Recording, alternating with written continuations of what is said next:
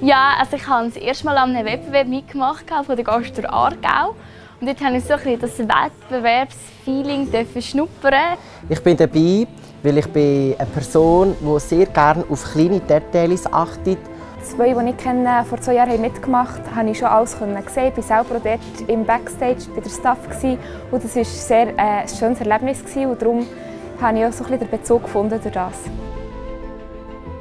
Das Funkeln in den Augen der Gäste, wenn du den Moment hast, dass die Gäste für dich oder dir alles glauben oder für dich alles würden machen. Es ist nie, es ist kein Abendservice gleich und das ist so eine Challenge, die mich mega motiviert und mir mega gefällt. Können essen ist eigentlich Luxus.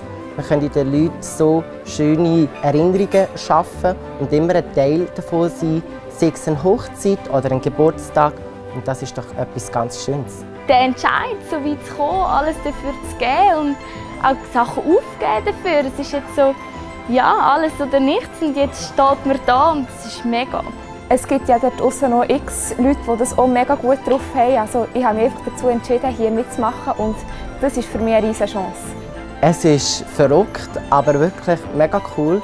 Ich bin mega stolz, habe mega Freude und jedes Mal, wenn ich aufwache, denke ich, hey, du hast es geschafft, weil es ist ein weiter Weg war. Und das macht mich natürlich glücklich und unglaublich stolz auf mich selber.